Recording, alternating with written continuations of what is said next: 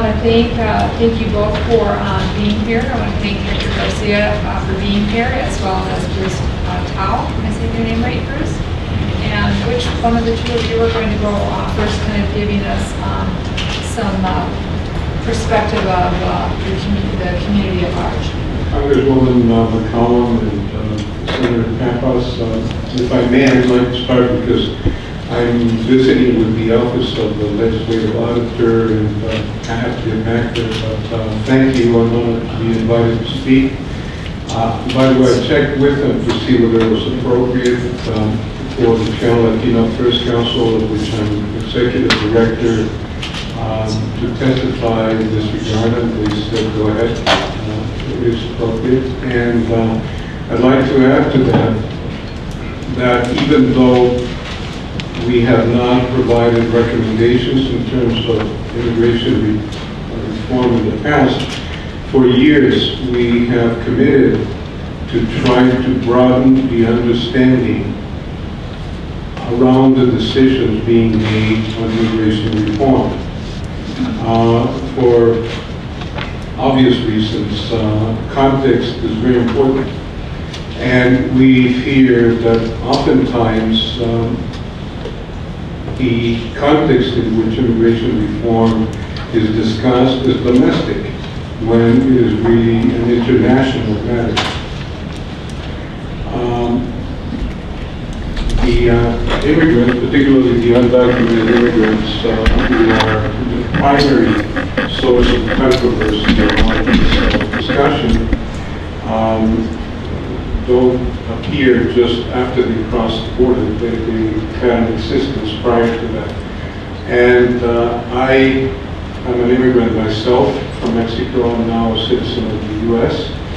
I promoted uh, the North American Free Trade Agreement since before it was named as such in 1990.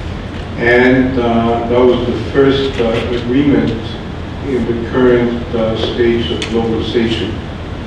And that, to me, is the context within which people from poor nations are moving to more affluent nations.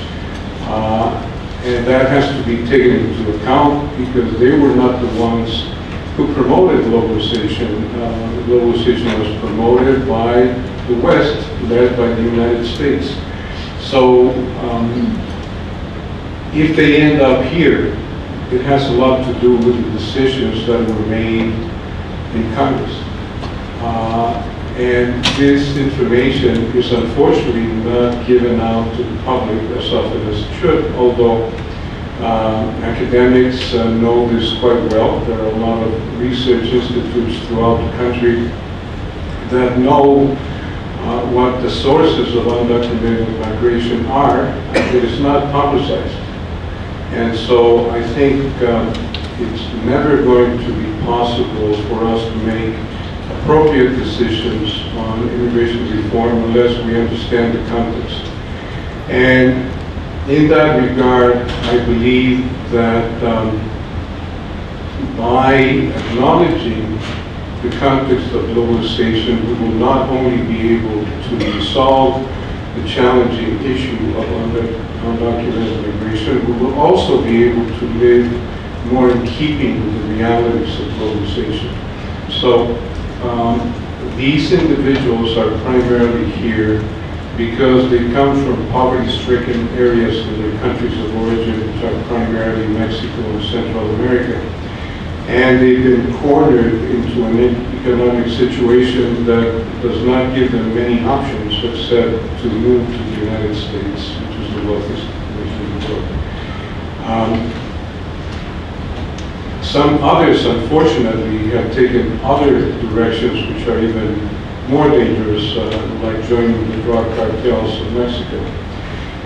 Uh, these problems will continue to mushroom until we decide that we have to manage the flows of labor that are part and parcel of international relations under globalization. We cannot only think in terms of flows of trade, flows of capital. We need to acknowledge that people have to go where the jobs are. And if we change the game on them, they're gonna go where the new game set. So I think um, by making their status official, uh, in accordance with their countries of origin, uh, we will be better able to place them in those industries and jobs that most need their services. Without that official status, I don't think undocumented migrants will ever be treated fairly or justly because they don't have an official status. They'll be treated the way they're being treated now. And it's not very just. Um, But justice alone cannot be the only reason why they should be treated in a different way. Economically, in addition to the justice side of it, would make a great deal more sense and will also lead the country towards a better understanding of what's going on in the world uh, that keeps changing around them, but we're not helping them understand what's going on, nor are we helping them manage the consequences of those changes.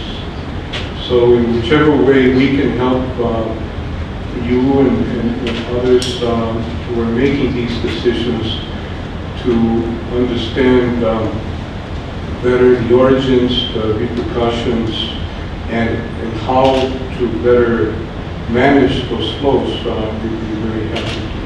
Thank you. Thank you very much, Mr. Garcia. Mr. Tao?